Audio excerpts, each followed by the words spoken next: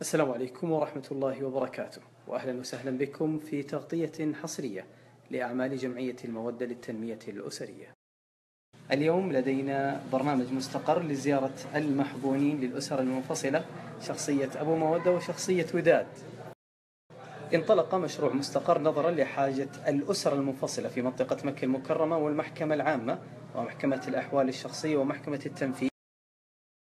بيئة مكانية آمنة مستقرة لالتقاء الأبوين المنفصلين بأبنائهم بعد الحكم القضائي. الأبناء مع شخصية أبو مودة في مقر الجمعية وبعد قليل إن شاء الله توزيع الهدايا لهم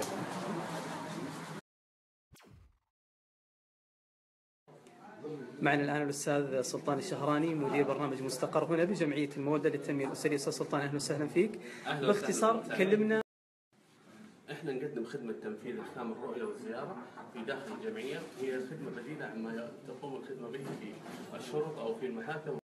طبعا الهدف الأساسي من وجود الخدمة هنا اللي هو أن تقوم الخدمة على تهيئة نفسية عالية نقدم للمستفيدين تهيئة نفسية جودة الخدمة المقدمة جيدة جدا حتى لا يشعر الفرد اللي يعني من ذوات الأهل المنفصلين أن هناك فرق بينه وبين الأفراد الآخرين. في الختام أستاذ سلطان شكرا لك على هذه الثواني آه، أخذناك من زحمة الناس يعطيك العافية السلام عليكم. أبو مود وش قاعد تسوي اليوم بالجمعية مع الأطفال؟ نفرح على الاطفال ونلعب معاهم نوزع هدايا كثير شكرا لك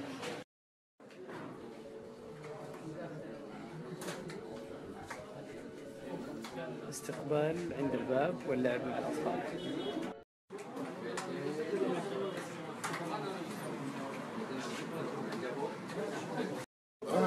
معنا الطفلة الحبوبة اللي أخذت اليوم الهدية وتصورت أول شيء كيف حالك؟ طيبة؟ شو اسمك؟ قولي أنت مبسوطة؟ أخذت الهدية؟ ورينا هديتك إيش هي؟ يلا مبروك حبيبي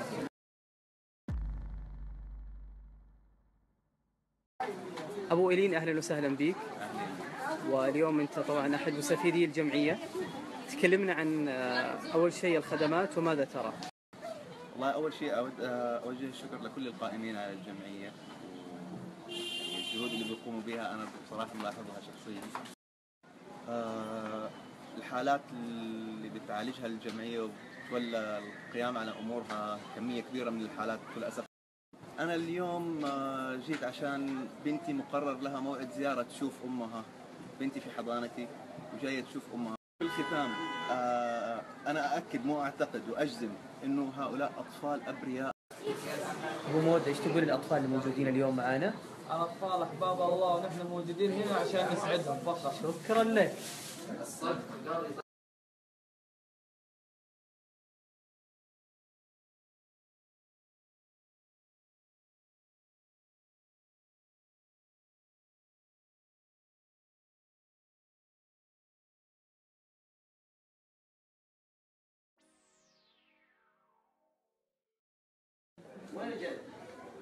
مكاتب الإرشاد النفسي للاستشارات.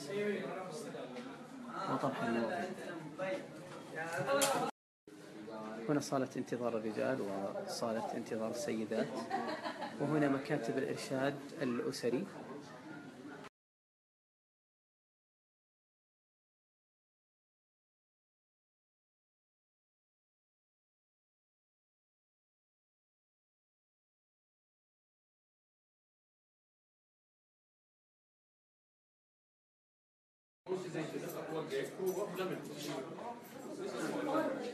ولا زال استقبال الحالات في برنامج مستقر